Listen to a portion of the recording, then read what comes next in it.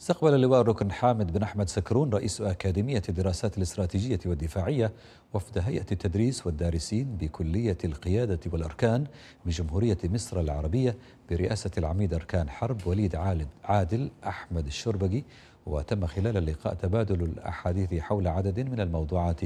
ذات الاهتمام المشترك.